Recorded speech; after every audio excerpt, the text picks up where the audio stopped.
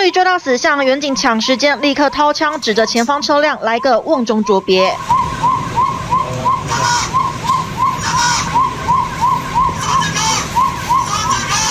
大声喝令驾驶，他这才慢慢从车窗伸出手。警方迅速靠近，一逮到机会，立刻开车门把人给拉下车。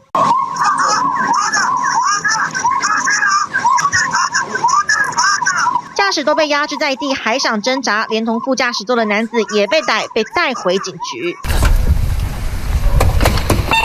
凌晨十二点多，他们在新北板桥信义路跟广泉路口红线违停，被巡逻警方拦下盘查，但他们不仅拒检，还加速逃逸，一路催油门展开警匪追逐战，追了一公里左右，直到他开进土城学府路一段的巷弄内，无路可逃，这才乖乖就范。OK 啊，OK。一看到远景就心虚落跑，不是没有原因，他的车上被搜出大量违禁品，包含多包安非他命、手指虎跟爆竹。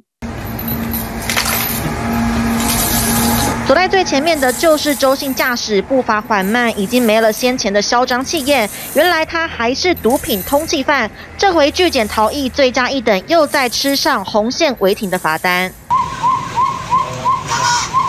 凌晨街头上演警匪动作片，好险过程中没有人车遭受波及。TVB 新闻陈怡人、吴玉雅新北报道。想扩大国际视野，掌握趋势，请订阅专门报道国际新闻的 YouTube 频道 TVBS 国际 Plus，记得要开启小铃铛哦。